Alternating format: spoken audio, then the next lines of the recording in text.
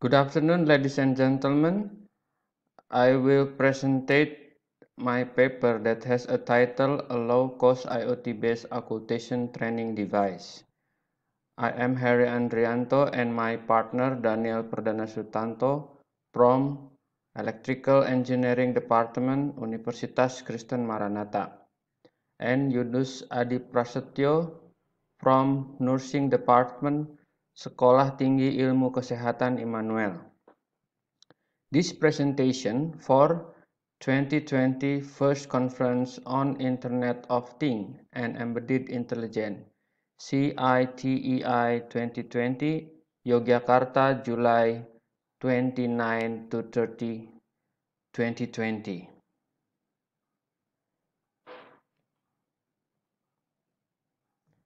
This is the outline consists of introduction, methodology, result and discussion, and the last conclusion. Background of this research. Recently, the Internet of Things has been widely applied to various fields such as health sector. In the field of health, the act of listening to sound that arise in an organ, such as the lung or heart, will help with the help of diagnosis and treatment is called auscultation. The auscultation training device is used by teacher and student in health school to practice auscultation techniques. A, stud, a student must have special expertise to diagnose lung or heart disease using a stethoscope. Therefore, auscultation training device is needed to obtain this expertise. Research problem. Several studies have been conducted to develop an auscultation training device. However, limitation of previous study, namely this system is complicated to be integrated and has not use Internet of Things technology. New innovation are needed on auscultation training device to meet user need and provide solution to the current limitation of auscultation training device, namely by applying IoT technology and smartphone device. We propose the solution for the auscultation training device using a low-cost IoT-based auscultation training device using a low-cost component. A low-cost IoT-based auscultation training device have been developed using Node-MCU for proximity sensor, metal as a, as a stethoscope, a switch, an Android smartphone, an earphone, and a phantom doll. We also use the MQTT protocol for data communication between Node MCU and the smartphone. The research method consists of four stages, namely designing a low-cost IoT-based auscultation training system architecture, developing a low-cost IoT-based auscultation training device, testing the low-cost IoT-based auscultation training device, and the last, evaluating the performance of a low-cost IoT-based auscultation training device. This is the architecture of IoT-based auscultation training system. The auscultation training device consists of Node MCU, and for proximity sensor. Node MCU is connected to MQTT broker via a Wi-Fi connection to communicate with smartphone. We also use a phantom doll where several proximity sensors were, were placed inside the phantom doll edge proximity sensor connected to Node MCU, normal and abnormal breathing sound recording file are stored on the smartphone. The switch is used to select a normal or abnormal breathing sound. If the proximity sensor detects a stethoscope drum, Node MCU will publish topic to MQTT broker. Auscultation training application on smartphone will subscribe this topic. Data obtained from the topics will be used to play normal or abnormal breathing sound. Therefore, that breathing sound can be here.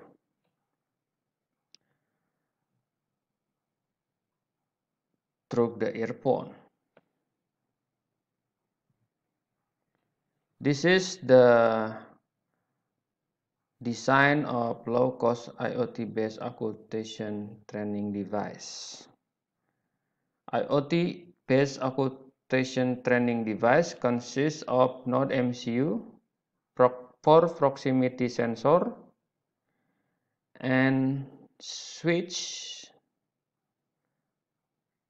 with the cost required for this hardware is less than 15 US dollar.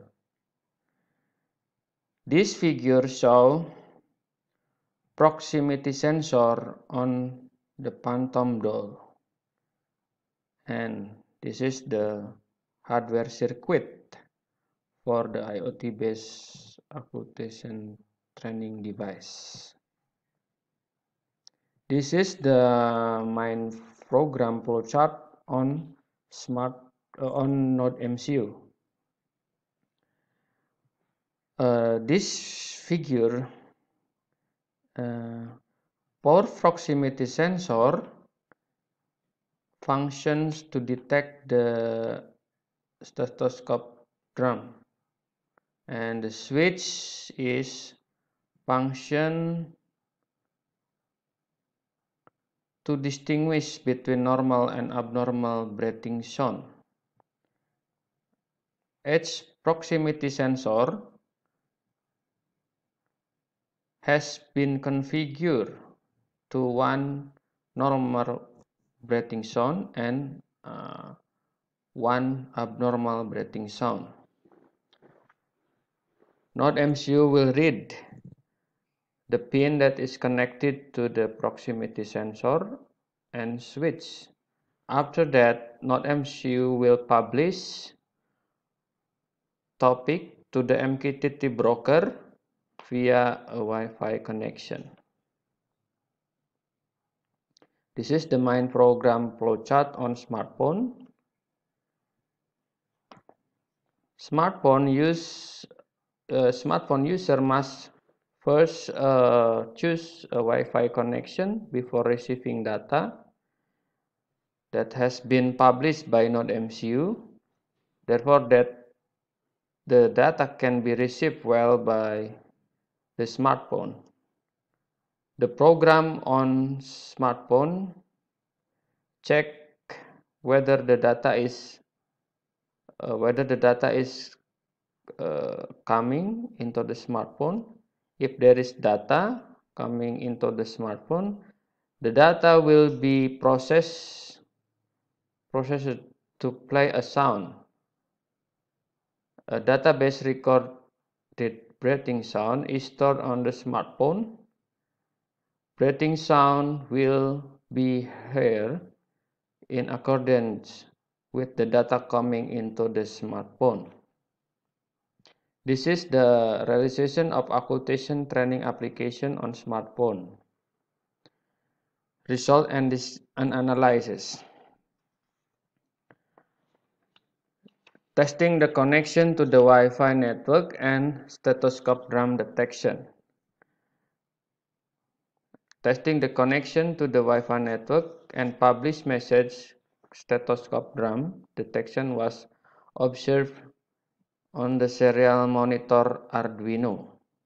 This figure shows that Node MCU has successfully connected to the Wi-Fi network and successfully published the message. The serial monitor show that when the proximity sensor does not detect a stethoscope drum, Node MCU will send 1, will send the data 1. And if the proximity uh, detect a stethoscope drum, Node MCU will send the data 0. This is the testing of communication between Node MCU and smartphone. Communication testing between Node MCU and smartphone has been carried out using the MyMQTT application on the smartphone. The, MI, the, M, uh, the MyMQTT application is subscribed to topic published by Node MCU and this table 1 show the test result that edge proximity sensor successfully detect a drum stethoscope for off or on switch position. Node MCU successfully published topics and the smartphone application My MyMQTT successfully subscribed to topics published by Node MCU.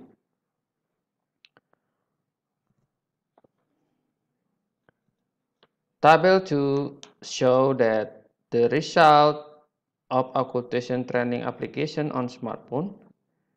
The auscultation training application on the smartphone successfully display the check radio button and play a breathing sound according to the position of the switch and stethoscope drum. And the conclusion, we have successfully developed a low-cost IoT-based auscultation training device using Node MCU for proximity sensor, a metal as a stethoscope, a switch, a phantom doll, an earphone, and an Android smartphone. Edge proximity sensor works well and successfully detect a stethoscope drum. Node MCU successfully connected to the Wi-Fi network and successfully published topics. The auscultation training application on the smartphone successfully subscribed to topics published by Node MCU and successfully play normal and abnormal breathing sound based on subscribed topics. In our future work, we will test the use of this device for a practice of auscultation techniques by student and teacher in health school. Thank you.